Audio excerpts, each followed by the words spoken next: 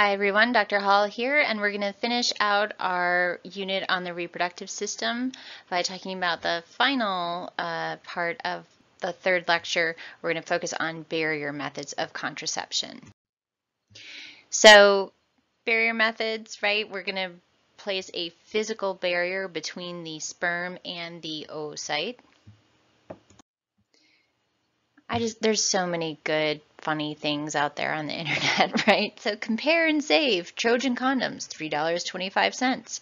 Huggies diapers, $22. It is amazing how expensive diapers are. All right. So when it comes to barrier methods, we basically have three main categories. There's the male or penile condom, the female or internal condom, and then the diaphragm. Of these three methods, the first one is the most user-friendly and the most commonly used. So that's the one that we're going to focus on because I want to make sure we go into it in sufficient depth. So we're not going to talk about the other two um, any further but I'm happy to answer any questions you might have. So male condoms, they cover the penis, right? It's, it's a latex or plastic sheath, basically, that then catches the ejaculate so that none of the semen and therefore no sperm can actually be released into the female reproductive tract, right? So if no semen is released into the vagina, it can't swim up through the cervix, uterus, fallopian tubes to find the oocyte. So there are three basic different materials that condoms are made out of. The first is latex, which is kind of the standard. It was the one of the original materials um, in modern times. Um, in ancient times, people used goat bladder and linen and all kinds of things. Um, and then our second category is the synthetics or plastics. And then finally, kind of lambskin, which is kind of a nod to ye olden days. So let's talk about these uh, in detail. So latex is, you know, made from the rubber tree. It's thin, it's really stretchy. And what's great about latex condoms is they protect against both pregnancy and STIs or sexually transmitted infections. The downside to latex are actually two. One is that some people can be sensitive or allergic to latex. It can cause some reactions or some rashes or some discomfort for them.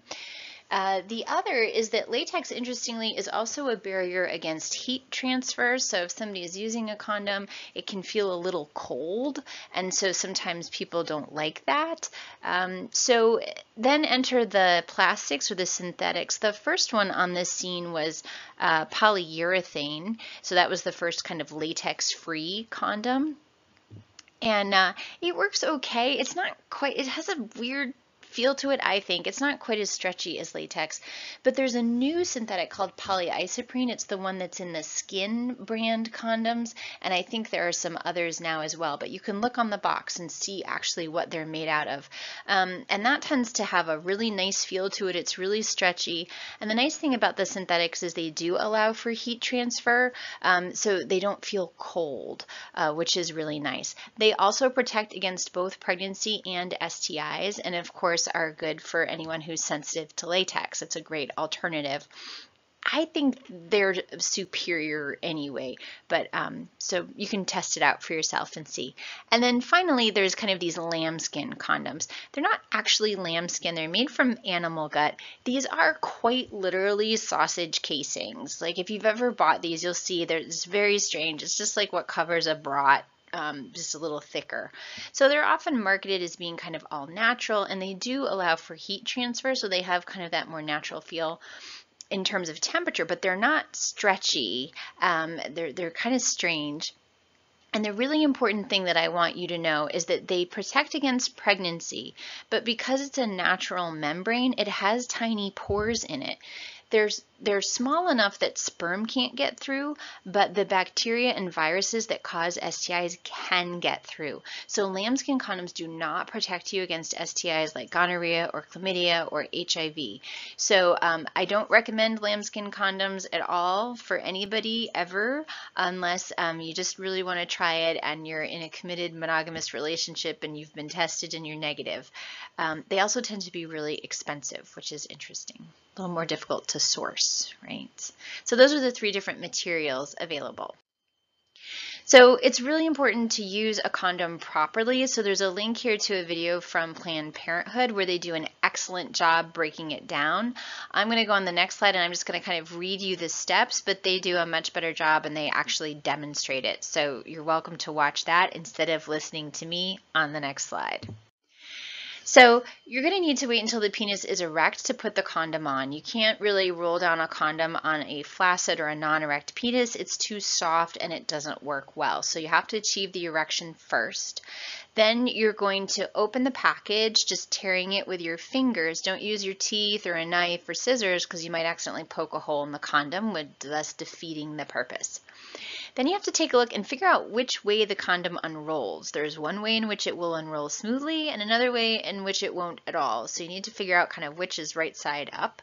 And then you want to pinch the tip of the condom, the end of the condom. That's going to save some space for the semen, for the ejaculate to go, and also prevent any air bubbles from being trapped inside. So it's going to decrease your risk of breakage if you pinch the tip so you have that reservoir there. Then you hold, holding the tip, pinching the tip, you unroll the condom down the length of the penis all the way to the base, covering the entire shaft. And so most condoms come with some lubricant on them already, but you can always add a little drop of lubricant on the glans penis, and um, that can really enhance sensitivity. So if you're like, oh, I don't like condoms, it doesn't feel good, give that a try. Sometimes it can make a big difference uh, and really improve sensation.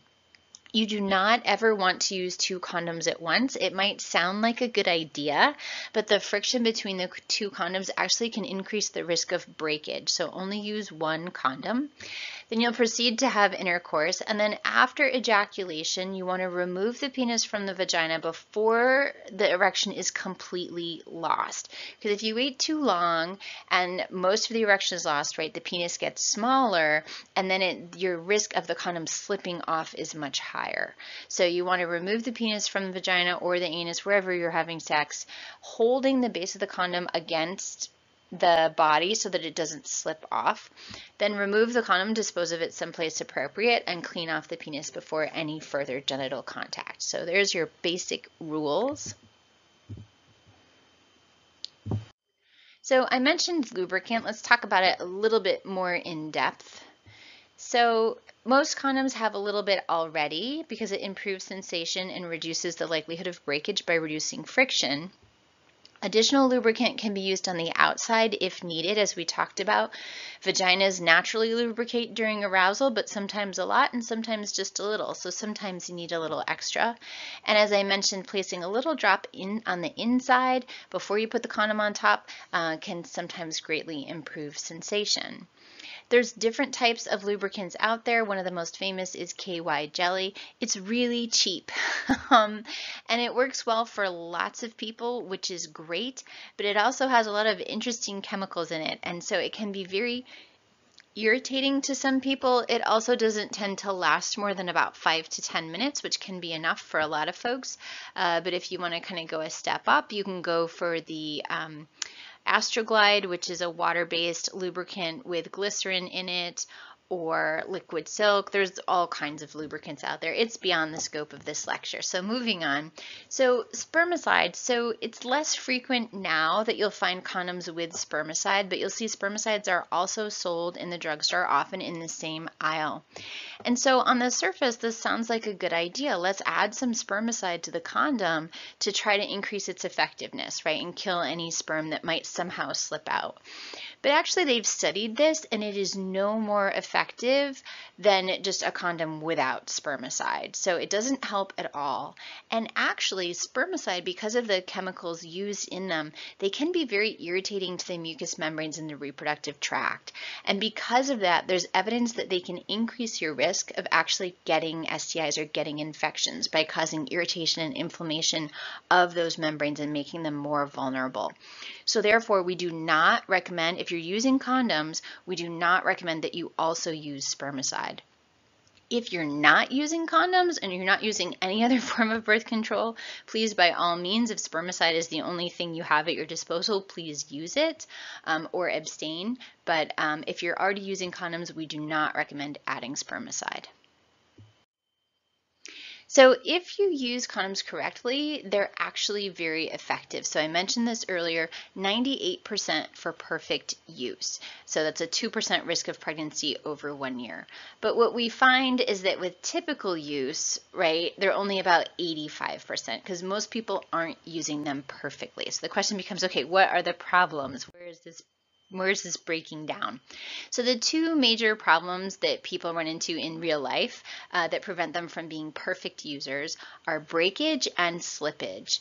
So breakage is often due to either improper use, like not squeezing the tip to leave that reservoir for the semen to be ejaculated into, or improper handling. So things like latex, it's a natural substance. It can break down over time, especially if it's kept in hot places or places with a lot of friction. So if you're carrying it in your back pocket or in your wallet for a long time, or if it's in the glove compartment in your car, which gets super hot in the summer and super cold in the winter, that can um, really reduce the integrity of the material and increase your risk for breakage.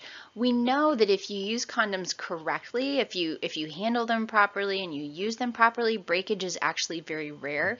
And we know this interestingly because there are places in this country where prostitution is legal and so one famous brothel is the Mustang Ranch in Nevada.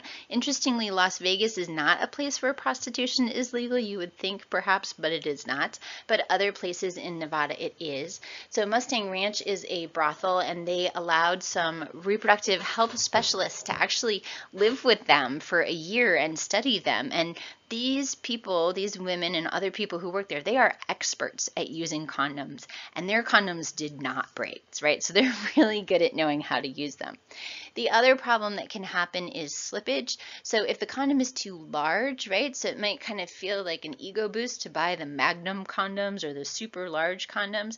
But if they're too loose, that's a problem, right? Because then they can slip off and semen can spill into the vagina. And like I mentioned before, waiting too long to remove the penis, if too much of the erection is lost, the penis gets a lot smaller. That also increases your risk for slippage.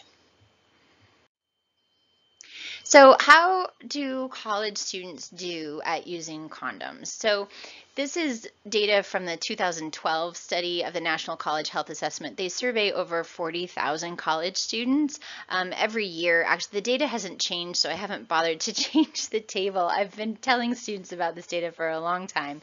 But so let's take a look at how often students um, report using condoms for vaginal sex specifically. And so we'll notice we've got two different colors here. Men are in the orange and women are in the kind of gold color.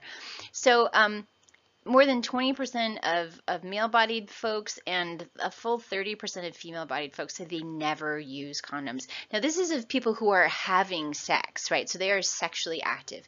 You might say, oh, well, maybe they're mutually monogamous. They're each other's only ever partner and they've been together for years and yes, that may be true, but I've also been working in student health long enough to know that sometimes you think your partner is being monogamous and they actually aren't. Or sometimes you think that you are their first ever partner and you actually aren't. I've had a lot of uncomfortable conversations with people after they get diagnosed with chlamydia, for example, that perhaps things were not as they anticipated with their partner. Um, then some people rarely use them.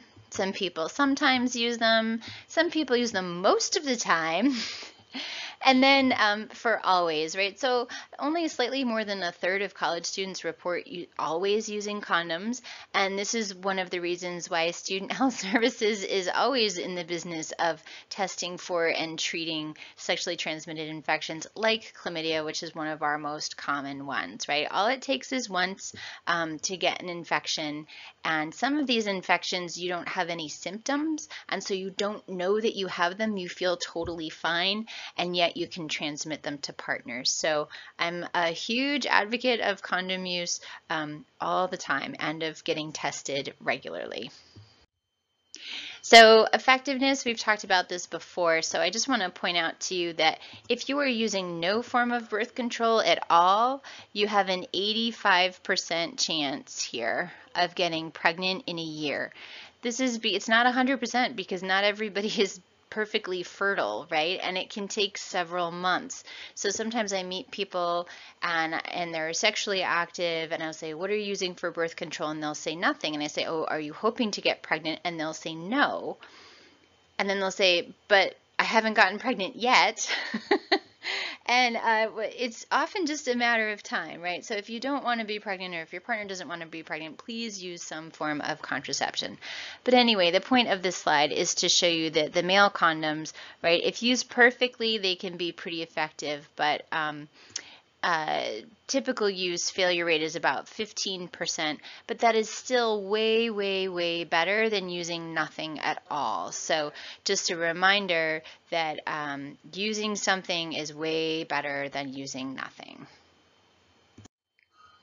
So overall, here's is a table of the contraceptive efficacy, the effectiveness of the different methods that we have discussed in this lecture. Uh, so absolutely the get it and forget it methods, the implant and the IUDs are the most effective because there is no user error. The shot you only need to remember once every three months. So again, typical use is closer to perfect use. With pill, patch, and ring, effectiveness falls off a little bit because it can be difficult to remember those things.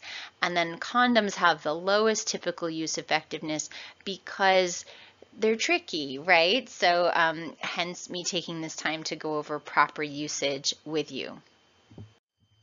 So in summary for this last lecture, we've talked about how childbirth is relatively difficult in humans compared to other animals because our big brains necessitate a big skull and therefore large head, and our upright posture and walking on two feet requires a narrow pelvis. So that's a difficult combination.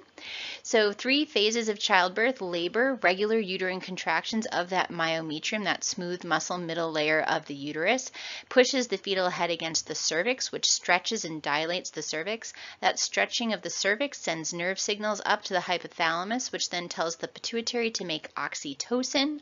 Oxytocin then causes stronger uterine contractions. So a positive feedback loop with stronger and stronger contractions, increased dilation of the cervix until it's finally completely dilated.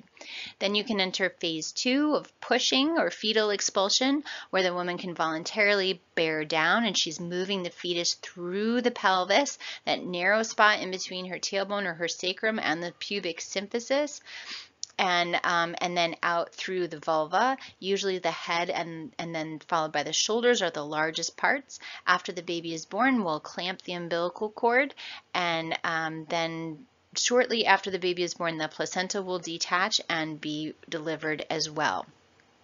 We talked about ways to not get pregnant, right? So contraception, we have combined hormonal contraception with estrogen and progestin, the pills, patch, and ring. Highly effective if used perfectly. They have some risks, right? Blood clot, stroke, heart attack, which are very unlikely, but also benefits, such as treatment of menstrual disorders and acne, as well as a reduced disc risk of ovarian and endometrial cancers. The progestin-only methods are safer from a medical standpoint, but without the estrogen, you might get irregular or absent menstrual bleeding. Mini pills or progestin-only pills are the lowest dose method, so you have to remember to take them every day at the exact same time. Depo-Provera shot is a higher dose method, so it does cause negative feedback on the hypothalamus. It's one shot every three months, highly effective. Can, in the long term, in some people, cause decreased bone density. And then the implant, which is that rod placed in the arm, is good for three years. The most effective contraceptive available lasts for three years. We then talked about IUDs, which are also get it and forget it methods placed in the uterus in the office. They can last anywhere from three to 10 years depending on the type. The types that have progestin in them cause decreased uterine bleeding, which can be excellent. And then the copper is also highly effective, but can in some people cause increased menstrual bleeding. So has the advantage of not having a hormone, but might increase periods.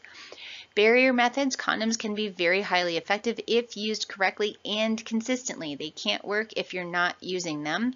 We talked about the three different materials out of which they are made, latex being kind of the old standard, the newer synthetic ones, of which I think polyisoprene is a great material, and then the lambskin ones, which do not protect against STIs, only protect against pregnancy.